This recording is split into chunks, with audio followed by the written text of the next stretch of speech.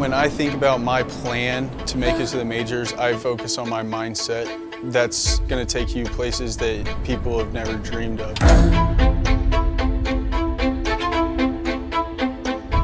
Every day I come to the field, I'm like, I'm here today to become, you know, a big leaguer. ¿Cómo voy a sentir en el momento que, que recibo la llamada por Grandes Ligas? Es por lo que siempre he estado aquí, ese es el sueño.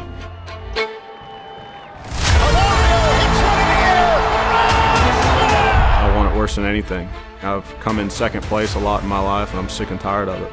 You know, I'm not coming for second place. I'm coming for the whole damn thing.